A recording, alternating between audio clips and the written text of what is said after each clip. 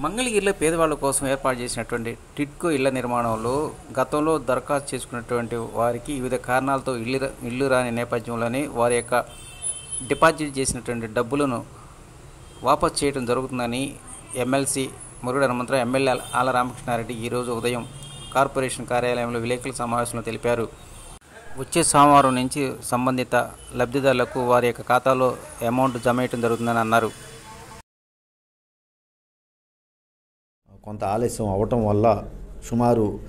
పదిహేనవ తారీఖు లోపల ఈ నెల పదిహేనవ తారీఖు లోపల అందరితో కూడా లబ్ధిదారులు అందరితో కూడా గృహప్రవేశాలు ఒకేసారి చేయించాలని చెప్పేసి నిర్ణయం తీసుకోవడం జరిగింది. మొన్న ఈ మధ్య జరిగినటువంటి కలెక్టర్ గారి రివ్యూలో.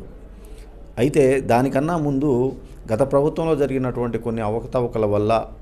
కొంతమంది లబ్ధిదారులు వాళ్ళు అర్హతలు ఉండి కూడా ఇల్లు రానటువంటి పరిస్థితుల్లో వాళ్ళు కట్టినటువంటి డబ్బులు వాళ్ళకి వెనక్కి ఇప్పించాల్సినటువంటి బాధ్యత అవసరం మా అందరి మీద ఉన్నాయి అనేదాన్ని మేము గుర్తుంచుకొని స్థానికంగా ఉన్నటువంటి కార్పొరేషన్ అధికారులు అదేవిధంగా టిట్కో అధికారులు అందరూ కూడా సమిష్ట సమిష్టిగా కృషి చేయటం వల్ల గౌరవ ముఖ్యమంత్రి జగన్మోహన్ రెడ్డి గారి ఆదేశాల మేరకు వాళ్ళందరి డబ్బులు కూడా వచ్చే సోమవారం నుంచి వాళ్ళ అకౌంట్లోకి జమ చేయబడతాయి అని చెప్పేసి మేము అందరికీ ప్రజలకి మీడియా ద్వారా మేము తెలియజేసుకుంటా ఉన్నాము. అయితే దీనికి మీరు ఆ లబ్ధిదా ఎవరైతే ఇల్లు రాలేక పోయారో వాళ్ళందరికీ మేము చాలా స్పష్టంగా చెబుతా ఉన్నాము. పేదలందరికీ ఇళ్ళు నవరత్నాల పథకం కింద వాళ్ళందరినీ అర్హులుగా చేర్చి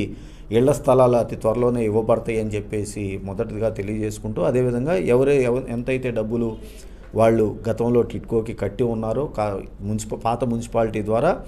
వాళ్ళందరూ కూడా స్థానికంగా ఉన్నటువంటి వాలంటీర్ని సంప్రదించండి. లేదా అక్కడ ఉన్నటువంటి వార్డు సచివాలయ సిబ్బంది దగ్గర వాళ్ళు వాళ్ళ దగ్గర ఉన్నటువంటి ఆధారాలతోటి ఇదిగో మేము ఆ రోజున మా యొక్క- మా డీడీ నెంబర్ ఇది మేము మేము డబ్బులు కట్టున్నాము మా డబ్బులు మాకు వెనక్కి ఇప్పించవలసిందిగా కోరుతున్నాం అని చెప్పేసి వాళ్ళు వాలంటీర్గా ద్వారా కానివ్వండి లేదా వార్డు సచివాలయ సిబ్బందికి తెలియజేసేటట్లయితే ఈ నాలుగైదు రోజుల్లో సోమవారం నుంచి వాళ్ళ అకౌంట్లో వాళ్ళకి డబ్బులు డైరెక్ట్గా జమ చేయబడతాయి. ఏ అధికారిని ఇంకెవరిని ఏ రాజకీయ నాయకుడిని సంబంధ సంప్రదించాల్సినటువంటి అవసరం లేదని చెప్పేసి స్పష్టంగా మేము తెలియజేసుకుంటూ రెండవది రెండో విడతలో కూడా గృహప్రవేశాల లోపలే రెండవ విడతగా ఎవరైతే అధికంగా డబ్బులు చెల్లించున్నారో నియమ నిబంధనలకి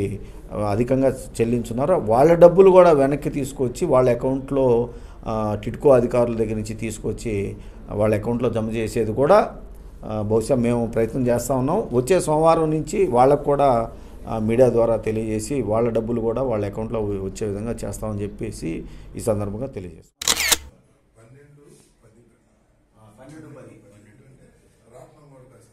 వాళ్ళు ఏమైనా కండెలు చుట్టుకోవాలన్నా